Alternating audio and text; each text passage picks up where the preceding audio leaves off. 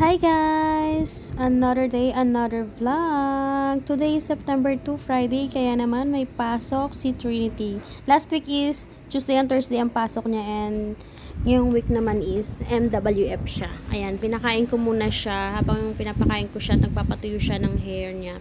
Yan, galaro muna siya. Saan siya nasa kalat guys ha? Ayan, yan. Ayan ang kanyang baon. Tiger biscuit, mini pancakes, and then Yakult. Hindi mawala yan. Para laging okay ka ba siya? Di ba? Ayan, meron din siya dyan na hiniwa-hiwa ko na dewy donut. Favorite niya yan. Is ayaw niya rin naman ng nakalagay pa sa plastic kasi mag, magdudusing daw. Kaya yan. Hiniwa ko na lang tapos i-chopstick na lang niya. Meron siyang mini chopstick dyan kasama sa kanyang baunan. And then, mag-ayos na kami. Pita ko na si Trinity. Sabi ko, uminom na rin siya ng vitamins niya habang iniipitan ko siya. Kailangan din makalimutan ang vitamins, guys, ha. Lalo na hindi pa vaccinated si Trinity. May dumadaan na ice cream. Di ba? May kumakalim-kalimbang. Yan, ipitan ko na muna siya. Ayan, may nakimarites pa. Oh, sige, marang pa. Di ba? Ayan, ang naipit ko kay Trinity. Pang madali ang ipitan lang yan. Then, binisa ko na rin siya. T-shirt siya ngayon, guys, kasi Friday ngayon. Ayan.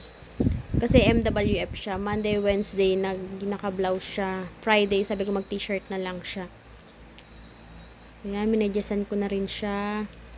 Ayan guys, kung mapapansin nyo, galit dyan si Trinity sa akin. Ayan, tita niya, hinahat. Nagpasama ako man naman gatid kay Trinity. Masama tingin ni Trinity kasi sabi niya wag daw ako mag-cellphone, baka daw mahablot. Ito, andito na kami sa, nakaba na kami tricycle, dito kami sa school ni Trinity. Yan, natid namin siya. Hanggang gate lang kasi usually naman talaga sinusunod sila ng teacher nila sa gate ng 12.45. Kaso na late kami dyan guys. Kaya ayan, si Madam President na lang ng GPTA ang maghahatid sa kanya sa classroom. O, diba? Masipag yan si Madam, ano namin, Madam President namin. Sipag din yan, tumutulong niya lagi maglinis sa classroom ni Ma'am Neri. Ayan. Ingat ka anak. Kakabait. I love you. Diba? At nga, pag uwi ni Trinity, meron naman siyang surprise kasi meron daw siyang star. Ayan, very good na naman siya sa kanyang ginawa. Nagupit sila ng tao-tao na, ayan, babae. Tapos may pangalan nila. Bali yan daw yung magiging attendance sila, sabi ni teacher. Ilulusot daw yan sa dun sa lagayan nila pagpasok para malaman ni teacher kung absent ba sila or present. O, diba? Ang galing-galing talaga ng baby ko.